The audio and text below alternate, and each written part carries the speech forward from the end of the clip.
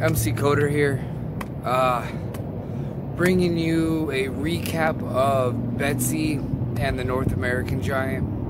Uh, if you guys want to go ahead and name the North American Giant, I haven't given him a proper name. Um, I'll leave that to you guys. Just been calling him the North American Giant. Uh, North, excuse me, the North Russian Giant. Uh, the Northern Russian Giant. Um, but yeah, so we're going to be going over all of that. And plus, I have a little bonus for you guys at the end. Uh, let me know what you guys think. Yeah.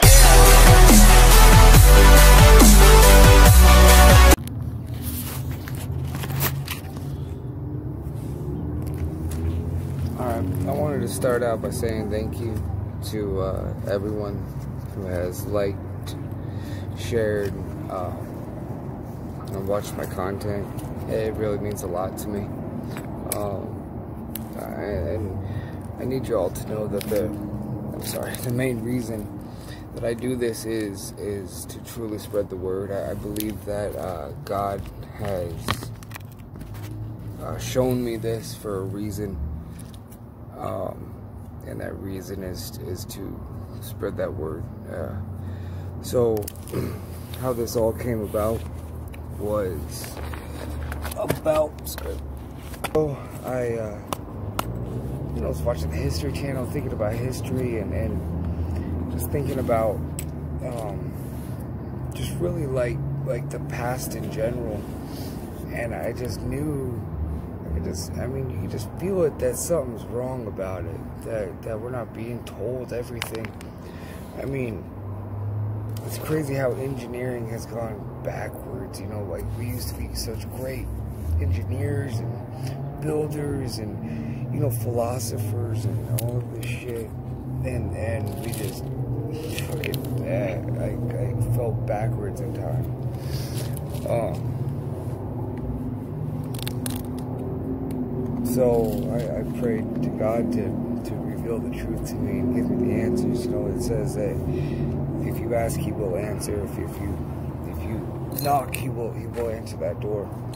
So that's what I did. I put him to the test, and I put it to the test. Um, it meaning the Bible, and uh, so I prayed to know the the uh, the, the, the, truth uh, behind God or behind the past and God's influences on it. Um, so right after I made that prayer, I, I you know, this prayer probably went on for a couple weeks. You know, it wasn't just one night of prayer. It was the same sort of prayer, just over and over.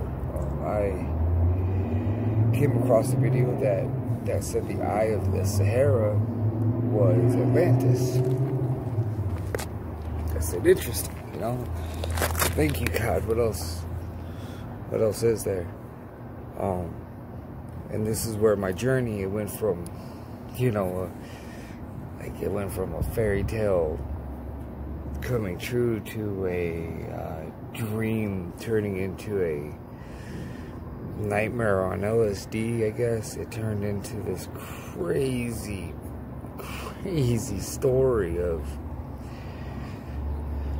madness, really. So, um, so after revealing Atlantis, I was given a dragon. I was given a fish. I was giving, I mean, insanity. I was given, I was given insanity, and I believe I am here to uh, show you the madness. You know, so if you if you want to listen, listen. If you don't, I mean, criticize. You know, you know, debate with me because I'm. If you can prove me wrong, I would love it. Okay, if you could prove uh, Rick, I think Roger, uh, Mud Fossil University wrong, do it, man that that dude loses a lot of sleep over this, and you could you could put that man's mind at ease if you were to. sorry, pardon. So you, you could put that man's mind at ease if you were to prove him wrong. You know. Uh, so again, you know, I'm not trying to insult anybody.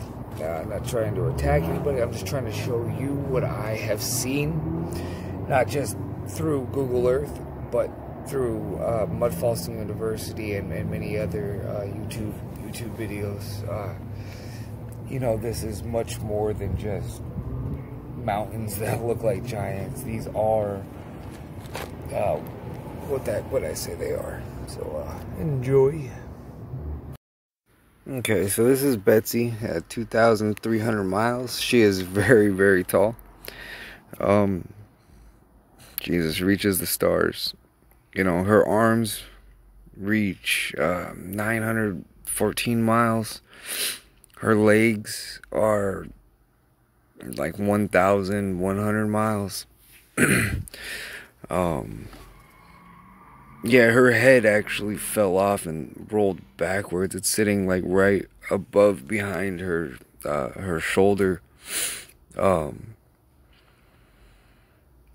but yeah, this I mean they're fucking huge. Okay.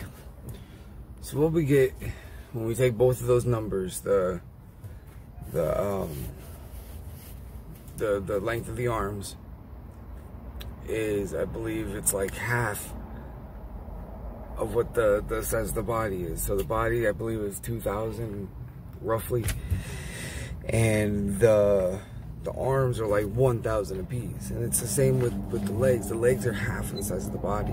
Now, get this. Okay, and I'll put all the math right here somewhere. Right in this uh, general area of the screen.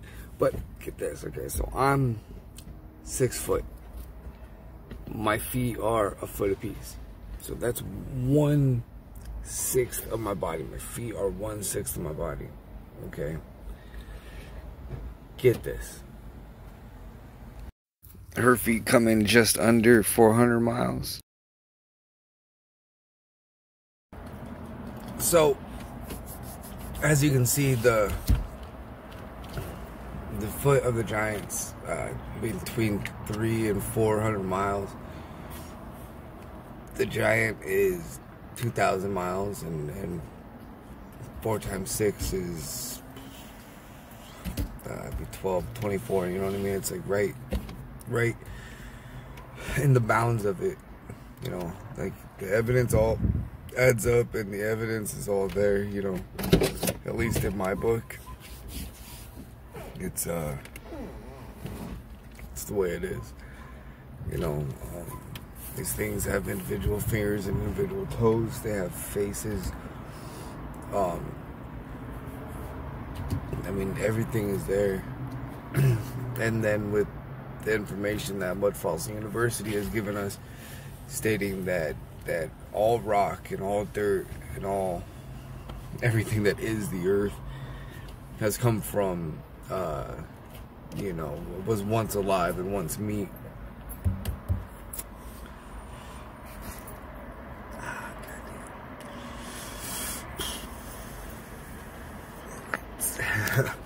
um, But yeah, so I mean, I I believe this, and now let's uh. Fuck, I think I'm like eight minutes into the video. Haven't even gotten to the second fucking giant yet. Um, I really don't have much more to say on that. Betsy is the one that I've really focused most of my time on. The rest I've kind of just glanced over.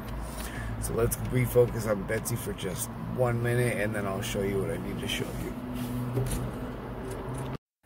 So this is what I believe to be the heart. It's a dead center in his chest. Um, and it measures just 58 miles. Uh, yeah, so I wasn't exactly sure where the top of him was and, and where the legs lay out. Uh, I believe he's laying face down, like he fell into his face. Um, this hand always creeped me out because you can, I mean, I believe you can see veins and, and fingers and everything. All right. So now I promised you guys something special. Um, now this is what I first was shown and what, what, was first shown to me. Um, I, I asked God to reveal the true history of the earth and a couple weeks later, like I said, he revealed Atlantis. And then a little while after that, um, Mud Fossil University revealed a, a dragon in northern Africa. Right under the dragon is a, a fish. Uh, I, I, don't believe it's a fish, and I'll let you know here why in just a minute. And then right underneath that is where Atlantis was, or is. It's the the eye of the the Sahara is Atlantis, and I mean, it's undeniable that that's what this is. I, I mean, I've seen some of the other places that they think is Atlantis, and it's it's bogus. You know what I mean? It's just all bullshit. But this place, you, I mean, you can just see that it is what it is. All right, so so uh, to. Uh, to uh sorry about that i'm fucking a little retarded for a minute but uh to no longer uh, keep y'all waiting here is the north african dragon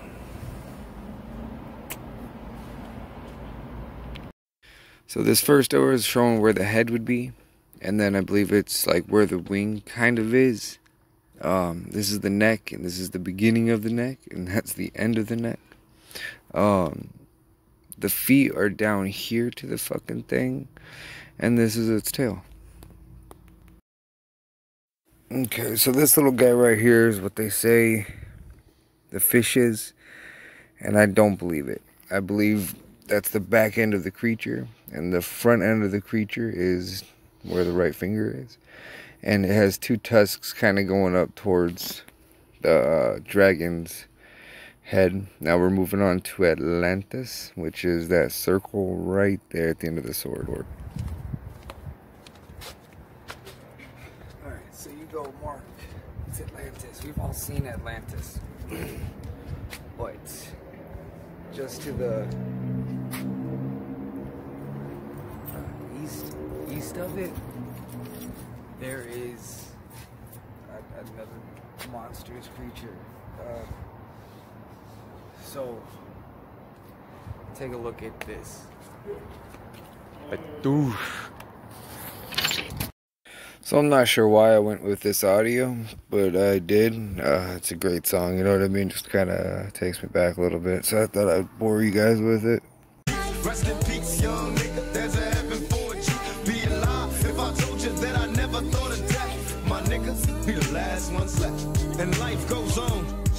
I got the word as hell. You blew trial and the judge gave you 25 with an L. Time to prepare to do fair time, won't see parole. Imagine life as a convict that's getting old. Plus with the drama, with looking out for your baby's mama. Taking risks while keeping cheap chicks from getting on her. Life in the hood is all good for nobody. Remember gaming on dumb hotties at your party. Me and you know true or two. While scheming on hits and getting